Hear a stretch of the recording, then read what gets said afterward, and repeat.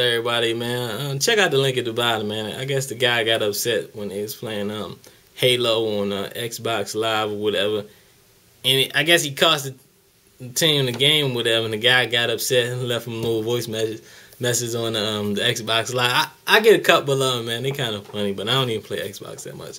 But um, I don't know why people, you know, take the you know take the games to the heart sometimes, man. Like it's only a game, man. It's not like you're getting paid you know, it's not like you, you know, really cashing out. At the end of the day, who fucking cares, man? You win some, you lose some. Some people, I guess in their mind, they just gotta win every game, man. I just play games because it's fun. I'm just trying to have a good time. You know, if I am on Xbox Live, I'm talking shit the whole fucking time.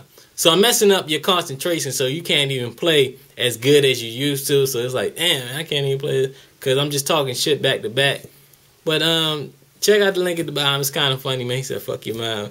I heard all that shit, even when I was playing, man. You know, like, so you just gotta have better comebacks. Like, most of the people that play these games don't have any comebacks, or it's about, you know, mama jokes here and there.